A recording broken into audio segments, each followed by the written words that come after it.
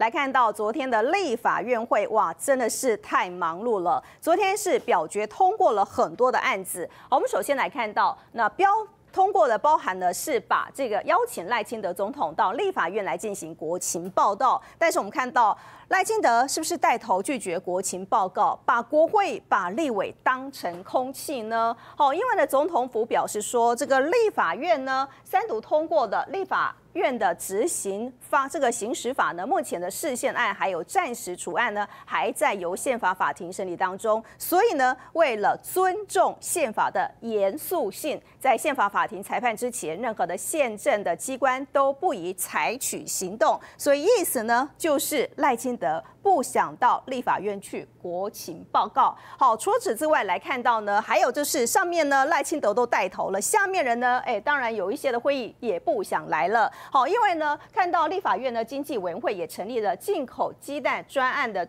这个调查专案小组，但是我们看到呢，前农业部长陈吉仲呢，他就不想参加，他拒绝呢这个参加进口鸡蛋调查的听证会。好，他还反问说，这个违法违宪的组织，好，怎么可以去参加呢？好，他说呢，因为呢机构采购一切是合法，可以受公平，所以他不会跟着蓝白立委起舞。调查小组呢本身是违法违宪的，所以呢未来如果是举行的听证会，他是不。会参加的，好来看到呢，民众党立委张启凯就说了，他说呢，不管是对立法你有多么的不满意，都应该要秉持法治的精神，而不是说你自己当起大法官，实为台湾民主法治的最坏的示范了。好，除此之外呢，我们看到连农业部长是不是也不甩立法院决议的公粮涨价呢？好，我们看到他说呢，感谢立委对农民的关心，公粮调涨影响到整体农业的均衡发展，将会继续。的推行一级二转三加三来保障农民的收益。好，但是呢，立委张家俊就说了，这民进党呢就是只看政治的利益。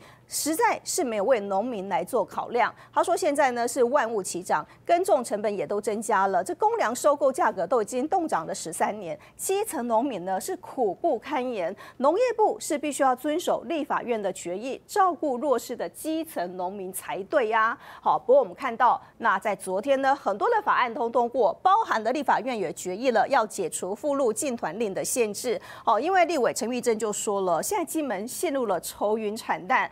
希望能够呢解除禁团链，来开放小三通到金马棚。好，但是呢，民进党团总召柯建明说：“哎呀，最近两岸呢，近情情势很紧张。中方日前还公布的惩戒台独二十二条，难道大家都不会怕吗？”好，但是我们看到呢，电业法呢，呃，也通过了民众榜的这个版本。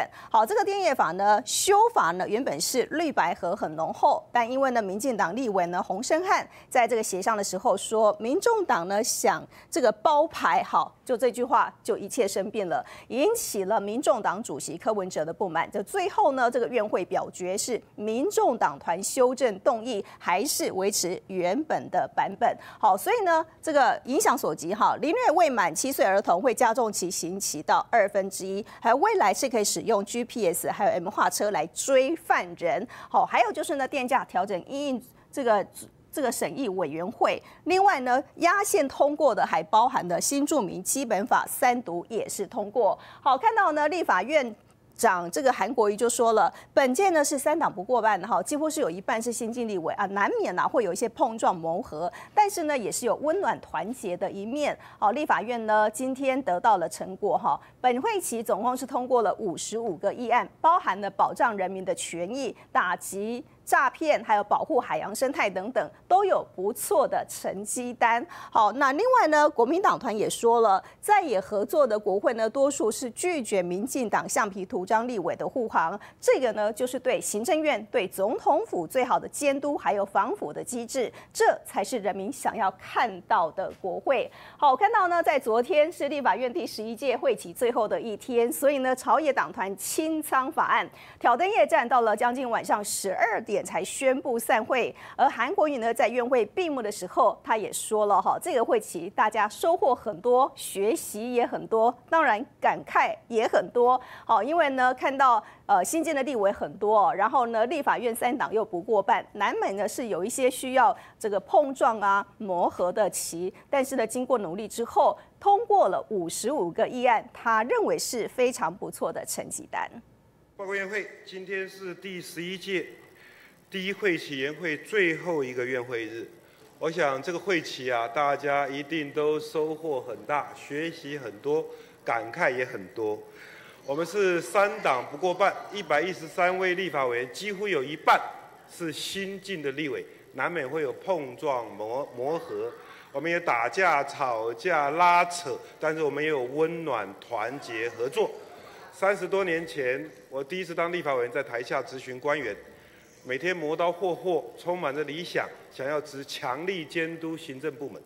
三十多年之后，坐到院长的席位，看到委员跟官员的互动咨询，我真心的感觉，民主实在太可贵了。所以在这个一个会期，我们的磨合、我们的努力、我们的冲突，不管怎么样，我们得到了。相当不错的成果，各位亲爱的委员同仁，我们通过了五十五个议案，包括法律案四十个案，条约案三个案，复议案两个案，以及其他议案十个案。这里面分四大块，包括保障人民的权益、提升再生医疗、打击犯诈骗的危害、防治诈骗、诈欺犯罪危害等等。强化保护海洋生态，以及维护军人跟劳劳工，所以非常非常的不错的成绩单，跟大家一起分享，都是大家的努力。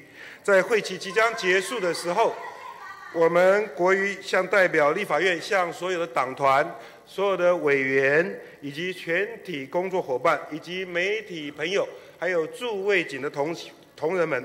以及海内外关心立法院所有的好朋友们，致上最高的谢意，也祝福所有委员在休会期间大家平安健康，祝福大家，谢谢。